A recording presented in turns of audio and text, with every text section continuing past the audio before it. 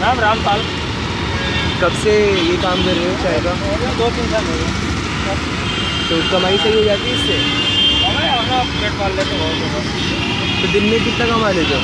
ढाई सौ तीन सौ हो जाता सौ दो सौ खाना हो अच्छा। परिवार में और इससे परिवार का तो खर्चा चल जाता है? परिवार कहाँ है?